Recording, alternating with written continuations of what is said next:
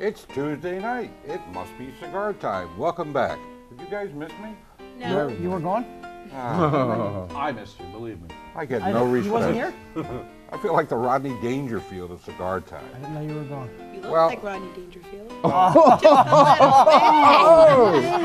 Wow. No respect. I get absolutely no respect. Wow. Well, I'm today we're going to start out the show smoking our Eduardo Double Forte, and I'm going to let Rob tell you about it. And then we have a very special guest, which I'll introduce as soon as Rob is done. The uh, Double Forte is a completely Nicaraguan cigar, Nicaraguan Puro. It has all Ligero, and it's got a sun-grown Nicaraguan wrapper. It's uh, has somebody has the uh, cigar. Oh, here it is. It's the one with the red footband on it in our stores. All our stores, all seven. all of our stores, all seven. Okay. That's right. Today uh, we have the player with us. We have Jonathan Lipson from Alex Bradley. Alec. Alec, Alec Bradley. Oh, I just said that so you could correct me. He's going to tell you all about the Alec Bradley Company, and, and today we're going to be featuring the Nica Puro. So, Jonathan, take it away. Well, quick, uh, quick little bit about Alec Bradley. Uh, we're about a 16-year-old company. Alec and Bradley are the names of the owner, sons. Uh, the owner's name is Alan Rubin. Um, we are a uh, premium cigar company. Uh, we received uh, Cigar of the Year 2011 in Cigar Aficionado for the Alec Bradley Prensado Churchill. And um, like Art said, today we will be smoking the Nica Gordo, uh, which is an all Nicaraguan cigar, definitely one of our fuller bodied cigars. So that's the uh, quick and dirty. Jonathan, don't you have some uh, new cigars that have come out recently, which I know all our stores have? We do, absolutely. The Raíces Cubanas is one of our newer cigars. Uh, it is the factory that produces the Prensado. They also produce a whole bunch of other brands. Generally, we have about 88% capacity in that factory. And then uh, the Mundial, which is, uh, like I said, Alan Rubin is the owner of the company. That's been his pet project now for over five years. Seven different tobaccos in there, very complex, definitely full bodied. That's a great cigar. Thank very you so cigar. much. Thank you. And that's a that's an all Figurado line, right?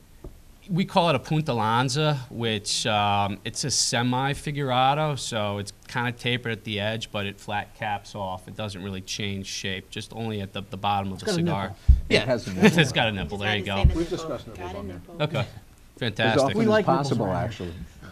Uh, you, you also have some uh, other lines that we carry, like the Prensado and a few of the others. Why don't you tell us a little bit about those? Correct. Uh, like uh, Art said, we have the Prensado at the stores. We have uh, Black Market, the Alec Bradley New York edition. Um, well, we also have Tempest, Tempest. American Tempest. Classics, American Sungrown, American yeah. Sungrown. So um, they carry a little bit um, of everything from us, mild to medium to full-bodied. Um, we do a little bit of everything for Yeah. everybody. Most of our cigars on Humidor are at least 90 rated in Cigar Aficionado. What's That's your awesome. best-selling cigar, you think? Our best-selling cigar by far is the Black Market. Is it really? Yeah, Really? absolutely, yeah. Wow. Yeah. I thought it would be the Fantastic. Two or three years Prensado. I was thinking the Tempest. Tempest was definitely high. Uh, the thing about the black market at this point, it's very, very unique. It has some Panamanian Ligero in it, so it has a very unique flavor. People really enjoy that because you tend not to get that flavor profile from Panamanian Right. tobacco Right. because it's very hard to use and it's very hard to blend with. It's middle of the, middle of the road price-wise, too. I think. That's why. Exactly. Great Well- price point. The one thing I like about your line is it has a cigar for just about every price point and every Right. Yes, strength. it Absolutely, does. yeah, yeah. a good point. Absolutely. Yeah, Alan came out with a good uh, marketing employee there. It's awesome. Thank you. Thank you. And I- and I- I think overall, Alec Bradley as a company is maybe the definition of what boutique cigar makers Mhm. are today. I would Thank you. agree. Thank you. Appreciate that. Also, tell us a little bit about, because I see it all over Facebook, you, the various representatives of your company and the executives of your company have this marketing theme with, of course, the Master Chief, Master Chief. Yep. our old friend George Sosa, heading up the team. Why don't you explain the origin of that and, and what all that means? Um, Alan, our leader.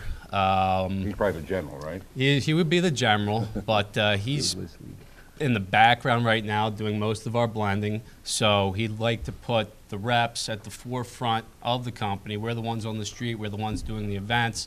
So our marketing campaign is the Road Warriors, of which I am the player. Yeah, Uh, I know that. they came up with they came up with all the names for the different reps and the different territories, uh, and it's been working out pretty well. I was just at uh, Big Smoke, and people were yelling at me and pointing, "Hey, it's the player!" So I am getting recognized, and I really do think What, that's what are the pretty names cool. of the other ones? The other guys? love that.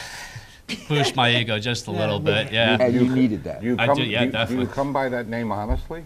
But, um, Probably does. I assumed it was Depends on the got that- definition. He's got that baby face, so yeah. What are the other names? Uh, like uh, we said, George Sosa is the Master Chief. That comes from him being the master, being a Master Chief in the Navy. He was. Um, we have the Zen Master. We have God knows what else we have. We have plenty of things, and it all you know just comes down to the different personalities, uh, things that people have done in their lives, the likes, the dislikes, and that's how they came up with these names. It's a Just- great marketing tool. Thank you. Yeah. Great Thank marketing. you. Pretty cool. I think it's pretty cool. Well, Jonathan, thank you very much for joining us. Absolutely. And thanks for taking part in our panel. More later.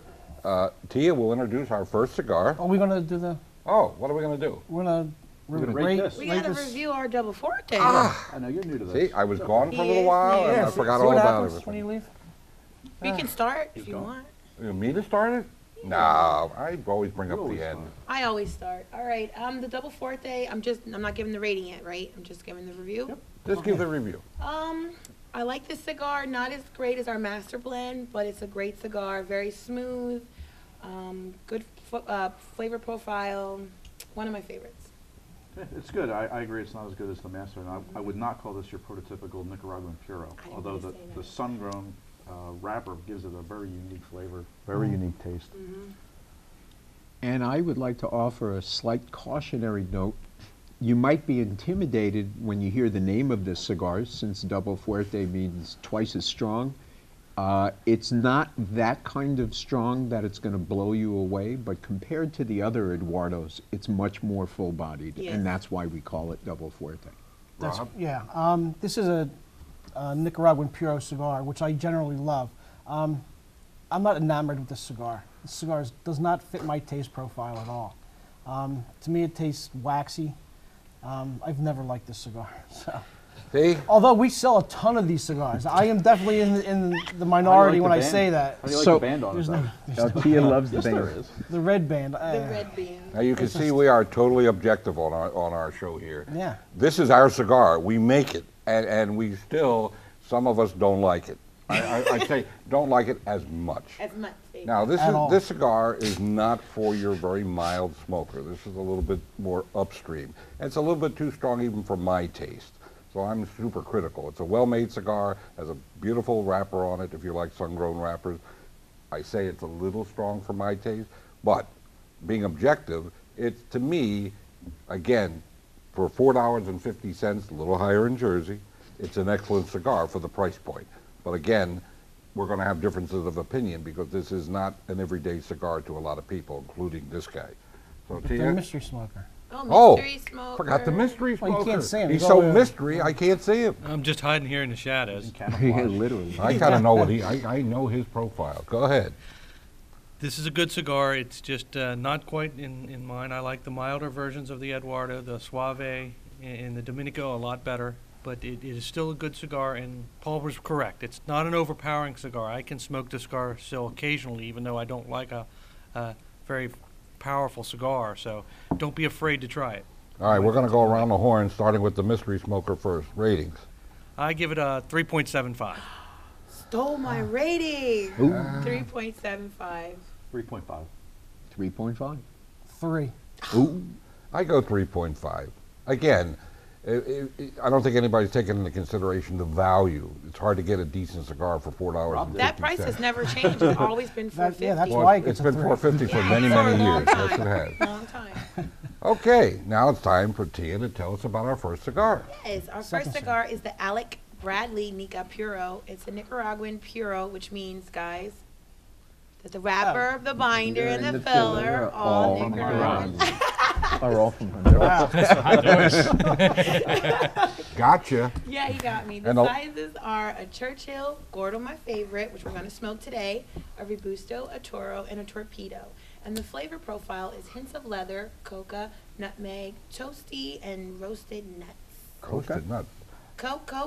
Coca. I said Cocoa. coca. Coca, Coca. well, I that's, like that's a whole different like Coca flavor Loud. Now, is profile. roasted it? nuts, is it, is it more in the almonds or walnuts? Mm, the nuts, the almonds, Um, and the lovely Miss Caroline will present us with our first because they're bigger. Thank you. Well, it's nice to have. So you like the- big The nuts are bigger? Wait till we talk about our topic, Oh. and then I'm really going to talk about some nuts. Thank you. Oh, okay. Oh, God, Thank you. we're out of control today. Yeah. Thank you, that Caroline. thing out. Oh, I can't. Now this is a Gordo. There you go.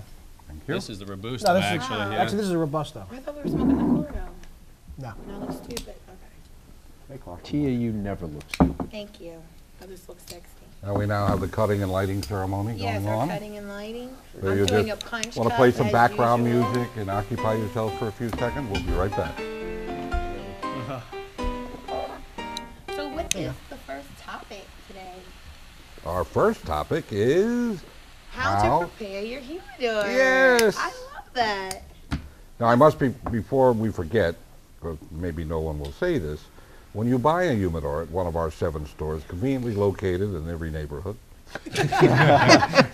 Especially ready. and maybe some more being added shortly, Yeah. you will get a, a sheet of instructions how to prepare. But we're going to talk a little bit about it now. Who wants to take the helm on this? Rob does. Why does Rob do? it? I don't know. Does anyone do it?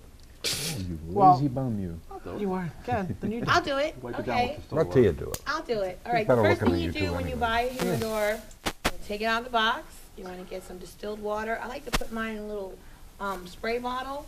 And you spray it down. You want to don't soak it too much where it's like a puddle in there, but you want to soak it down, and then you want to wipe it down, and then Why distilled water? because distilled water Is pure. is pure. Yeah, Yeah. I wanted to say. It's like, It also wait a doesn't minute. evaporate as quickly. Yeah, exactly. Um, so after you wipe it down, you want to make sure you even get the sides where the seal is. You want to get all the Spanish cedar that's inside. Um, then the next step is to put a little distilled water in a cup. Yeah, And I put it usually use a inside. shot glass, A shot glass. depending on the size of the box. Yes. Put it inside the humidor, and then you want to calibrate it. That's right. That's how you get it Well, depending on if you have a hygrometer or not. Well, if you have a reg, a digital hygrometer, Right. you still want to put it in there so it'll put the humidor at a perfect temperature, which is seventy percent the Humidity, humidity and the 70, 70. temperature. Around 70. Yeah, 70, And 70. then we do that for a day. Yeah, Then- then overnight the or next- day. Overnight. Yeah. Then you go back in the next day, you want to spray it down again, just wipe it down a little bit more, and then it's ready to put in It should be good to go. Cigars. Good to go. One hint though, when you do wipe down your humidor, or make sure you do it with something that's never been used before. You Oh, don't want yes. you don't want any soap. Clean. I usually, use- aromas. I usually use paper I use a towels. I paper use paper towel, a towels, too. white, Paper paper, towel. a white plain paper or a sponge that hasn't been used, but you don't want any soapy uh, aromas or anything in there. Now I have a question. A lot of people, I know it's not how to prepare it, but a lot of people um, use distilled water to humidify their box. It depends on what kind of humidity uh, device you're using. Distilled water is pure. If you use regular water, you're going to get all the minerals and everything that's in regular. No, regular but they don't water. use glycol at all. I mean, they don't use the Well, you crystals or should. anything like that. If They you- just say, I'm using distilled water. If you water. live in a, in an area that the, the round the year temperature is around 70 degrees, you don't need to use uh, propylene glycol. But if you live in the northeast where our seven stores are located, I recommend the propylene glycol mix. We call it bug juice in our stores. Yeah. With 50% propylene glycol and 50% distilled water. And that way your, your humidity uh, device will take and give humidity as needed to keep it at around 70. Right. Yeah, the change in seasons will affect the humidity, um, because if you put your air conditioning on, that'll cause the humidity to, to plummet. Um, and the same thing with if, you- if you put your heat on, that sucks a lot of the humidity, it dries out the air, so you'll notice this time of the, the, this time of the year and in the spring, you'll get a lot of fluctuations. I, I just, I just leave my humidor alone. When, when, if, if I get big fluctuations, it'll, it'll, it'll equal out over a few days. Yeah. Where do you keep yours? Me? Mm-hmm. Which one? All of them. Doesn't matter. Most The of them. one I- in your house. The one in my house I keep in my basement. Okay. I try to keep mine very close, so I have like a humidor almost in every room. Just in case. You just never never know. know. Right in the bathroom, right next to the. Yeah, near the phone. I get the date, just in case. In case. case, you never know. You never know. Well, our, our next, uh, our next segment is uh, Paul in the country. Paul, what country are you in today? I'm in Mexico. Mexico. Arriba! Now, I, I want to tell you a few things about the history of tobacco in Mexico. Oh, good. I was hoping you weren't going to say the history of Mexico. No. too long and too much. Um, tobacco in Mexico comes from an area called the San Andres Valley. It's on the southern end of the Gulf of Mexico, uh, in an area near the city of Veracruz. And it's a very volcanic area, which is why the soil is so rich there.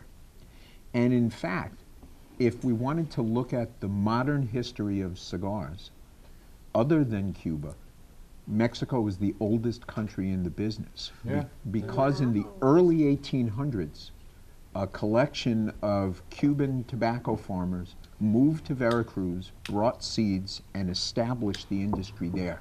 And that's way before they were doing it in Nicaragua or Honduras or any of the other countries.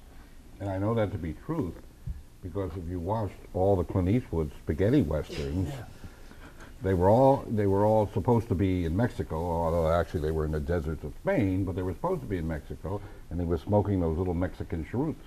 Mexican cheroots. That's why you know it's true? That's why I know it. Because of Clint Eastwood. Because of Clint Eastwood. Okay. I buy that. The uh, the seeds that the first Cubans brought to Mexico, uh, they called them Andres Negro, uh, and the reason that they called them that is the tobacco that grew from it. Everything all right? Rob has rolled his eyes at me. Do you need a break, maybe? Please continue. Anyway, those seeds yielded a very dark, spicy leaf, and in fact, that leaf is still used today to produce some of the most desirable Maduro wrappers in the industry. Um, in the early 1900s, the Dutch came to the San Andres Valley also, and they brought uh, their Indonesian seeds, or Sumatra seed. Uh, and like in much of the rest of the world that the Dutch went to with their seeds, it didn't work out so well. In fact, the only place really that those seeds wound up doing well was my favorite place, but we don't need to talk about that. No, really. Um, all of the industry was really led throughout the 1800s and into the 1900s and through today by one primary family, the Turrent family, that are still very important in the industry now. Interestingly, when the, the Cuban Revolution hit, Mexican Puros became the best selling cigars in the world. And the single strongest brand in the world at that time is one that you might have heard of, and that's Te Amo. And if you're old enough, you'll remember that there was a time when there was a Te Amo store on Everywhere. virtually every street corner everywhere. everywhere I remember the signs. Yep. Te Amo, it was all everywhere. over. Um, the Mexican cigar industry fell on hard times, and it did so for primarily two reasons. In all of the other countries that produce cigars, it is an important part of their overall economy, and the government supported them heavily. In Mexico, because it's such a big and relatively wealthy uh, country compared to the other Yeah. cigar places, America. it it was not that important, and the government didn't support them nearly as much. The other the other thing that really hurt Te Amo and the other brands is that all Mexican cigars are all puros, or at least they always were. Were, And when the other countries began to share tobacco and create more complex blends, Mexico was left far behind because they were still producing only these puros. Uh, so they fell out of favor and they virtually disappeared. You don't hear about Mexican cigars much, you don't see a lot of Mexican cigars. But here's a surprise. I know it's Today, today, 80% of the tobacco grown in Mexico is exported uh, to other countries to use in their blending. Right. And the result of that is, chances are, scattered amongst your favorite cigars, whether they're Nicaraguan or Honduran or Dominican, chances are there's some San Andres tobacco in there. Uh, even though a lot of people in those countries don't much want to admit that there's Mexican tobacco in their cigars. But there are. Now, isn't there another interesting little tidbit about the San Andreas Valley? Isn't that the originating point of the San Andreas Fault? Oh, I don't even know that. Well, I don't know it either, but it seems to reason because it runs up. It, It runs, runs up that all the way. way up through Yeah, into Mexico and into California. Yeah, I believe that's true. Please Well- look it up, verify it. And, and since the San Andreas Valley is highly volcanic, that It makes, makes sense. sense. It yeah, fits. absolutely. Well, Paul, we thank you very much. Well, thank Can't you. wait. Can't wait till next week to find out what country you'll be in next week. I'm, I'm on the road. I, ho- I hope your passport has like got a lot of room left in it. Like Waldo, we gotta find you. Yeah, we're. I'm Well, just like Waldo. I like your hat today. Oh, thank you. Yes, it is. This very is my real hat. I'm jealous. That's his travel hat. Figured you'd have a sombrero. Yeah. Just for Mexico? Yeah. Well, I think, it, Mexican I think it's time now to review our uh, Nic- Nicapuro. Mystery Man, take it away. Right, The Nicapuro is a beautifully constructed cigar. it has a really good draw. I really like the draw, and I like the spiciness. I get some spiciness on the front end when I when I smoke it, and then it, it smooths out, and I like it. It's got a really nice sweet taste to it to me. I really enjoy the cigar. Great. It's wonderful. I'm sorry. Oh, no. Right in front of him too. I Wow. know. I have to be honest, right? I have to be frank. Um, No, I, try to be Tia. I'll be. T- Frank's not here. Oh, God. Thank Come God on. for small Anyway. He comes in and out. I taste the leather. I definitely taste the leather, and I do taste some of the, the nuts. But when I first lit it up, I just, you guys know, when I first light a cigar, if it does not taste right, I'm not happy with it. Um, I love the band. It is beautifully All right, be constructed. safe, Jonathan. You're fine. And I'm a big Nic, I'm a big you know Nicaraguan Puro fan, but I'm just not happy with this one. I'm sorry. Well, I think you need to let this burn a little more. This cigar I- does. it took me It five develops a minutes lot. to light it. That's why, and the draw. I have to. Sorry, I'm oh, not. you got mine. Yeah, I'm, it's not drawing. I usually get the um, tight ones. Yeah, well, I got a tight one today. Hey. What you know about tight ones? I think it's. Whoa! Wow. I'm just gonna say, it's like your boyfriend. It's like your boyfriend's tight. Scott? I'm not tight. This is a family What? show. Yeah. Oh I've boy, about you, yeah. it's a really nice wrapper. no, actually, no. The, the is actually. I was looking at. it. It's beautiful. It's got a great chocolate brown. Yeah. Um, a really nice oil on it. Uh, I'm enjoying the cigar. I've had a couple of these before, and I, I didn't like them as much as I'm enjoying this one for some reason. Um, I like the cocoa flavors. I didn't get as much spice on the front, but I'm, I definitely get the toasty and the, and the roasted nuts from it. Paul? I find the complexity of this cigar to be a real treat. It has all of the flavor. I find it has all of the flavors in the list. I taste the cocoa, and then that fades out, and I get the nutmeg and the toast and the nuts, and it just keeps switching back and forth, and I enjoy that. Now, I know we'll get a totally objective opinion now. Jonathan? I just love the cigar. Why did I know that? There's my gonna say shot. that. Surprise, surprise. add to add to um, the flavor profile, I definitely get uh, a distinct cinnamon note out of this cigar. Um, This is one of the stronger cigars that we do make. Um, there's a little bit of peppery note on it, but um, this batch that we took out today is extraordinarily oily, which may have been, you know, some of the problem that Tia had with the lighting The on lighting, it. yeah. That might have caused it, yeah? Yeah, it may have caused that, but uh, this is one of my favorite Alec Bradley products. Rob? Um, I agree with Jonathan. Um, it, Nicaraguan is my favorite tobacco in the world. Uh, it does have a very leathery taste to it. You can definitely taste the nutmeg. I don't get the cinnamon that you get, um, and I'm very sensitive to that because I don't, don't like, like I don't like cinnamon. cinnamon. Yeah, I don't either. Um, I don't get that at all, but I do taste the nutmeg and the toast. Um, I think it's a great cigar. I really do. I think it's the second best cigar uh, Alec Bradley makes. What's What's the the, best one? Um, I knew that was coming from somebody. I like the uh, the Prensado. Prince- I knew that. Prinsado's the best. I like the fine and rare. I like the Tempest best. I like the Tempest best. Yeah. Well, I guess it's up to me, huh? It's a great cigar. I can't really add to what's already been said. I don't get the cinnamon quite either, but I mean the leather and the nutmeg, and, and, and I, I find it not as full body as, and it's funny, I'm a little sensitive to full body, but I mean it's it's, it's an excellent cigar. I like the oily wrapper. I also like the band. It's got two bands. Yeah, it Yeah, it does does have have two two bands. bands, yeah. It's double, double the pleasure. So no, it's an excellent cigar. I, I guess we should probably rate it, no? Tia, why don't you? Uh oh, no, no. Let's not start with tea on the Start with the mystery Let's guest. start with Start the with the mystery, mystery guest. smoker. Well, I give it a four and a half. Wow. Okay. Tia, Three point seven five. Oh, Scott, Four and a quarter. Four Paul, and a half. well, Yeah, Jonathan. my guy can't say anything less than a five. Just so, just so you all remember, or know from previous shows, our scale is one to five. Yes. Rob? Uh, four and a half. Well, it's so easy to say four and a half. I, I would go between, to me, four and a half and four seven five. I really do enjoy this So cigar. four, six, seven, Four, five. six, No, seven, no, five. no, actually, it's four, it, unfortunately, because of somebody low rating it, it, uh, that comes in at four point five nine. Okay, just to be I'll fair, the, I getting think it's the nutmeg Oh, it's too late to turning make friends now. All right, well, it is. I don't like nutmeg, so I think that's what it So there you go. All right, our next topic is gonna be our worst jobs. Mystery Man, you start out, and be quick. Well, I had to clean latrines while I was in the military. That ah. had to be the worst That's job. enough. Qualifies. Enough Enough said. That's pretty bad. T? I was an ass wiper. Hello!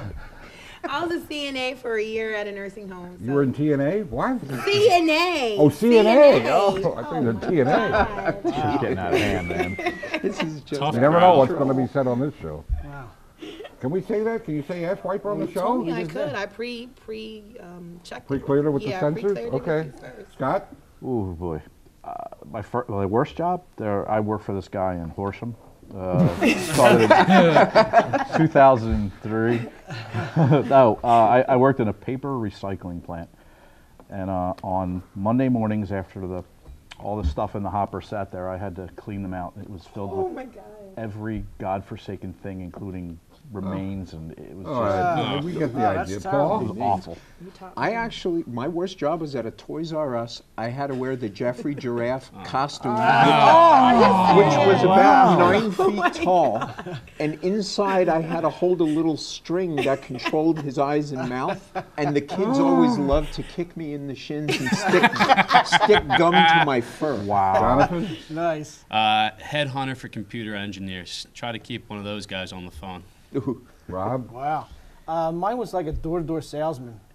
Uh, yeah, it's terrible. What Just did you- on doors. what did you What'd you sell? sell? Anything. Um, Encyclopedia. He was the fuller brush man. I sold, sold everything: knives, um, leather bags, uh, crystal, supposedly crystal, glassware. Supposed- Ah, it was terrible. What kind of knives? Switchblades? No, regular, you know, steak knives. Ginsu kind of stuff. No, worse than that. Um, I guess, terrible. I guess it's my turn? Yeah, go Yeah, this was going to Well, be I don't know how to say this, but I never had a worse job because I never had a job. I've never worked for anybody, anybody. Well, there was a little government service there, but that wasn't too bad either. Now, I've enjoyed just about every day I've gotten up and gone to work, and I'm very honored and you know privileged to have had that. So um, I don't, I've never had a worse job. I enjoy what I do.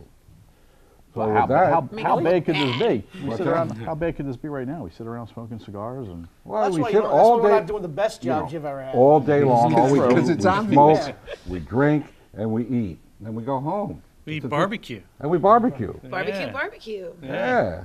oh, Thanks for the shameless plugs. That's Well, I'm sorry. This episode have went no by way too fast. Do we have a cigar to tell them about for next week? That's Rob's job. Um, next week is the uh, Camacho Corojo. Camacho Very Coro, I love cigar. it. Taste the Very smoke. nice cigar. Well, I guess you know un- what country I'm gonna be unfortunately- Yeah, right? Unfortunately, it's uh, time to say goodbye. Mystery Man, See y'all later. T, Bye bye for now. Bye, Mom. Smoke often and smoke happy, folks. Thanks for having me, guys. Ciao for now.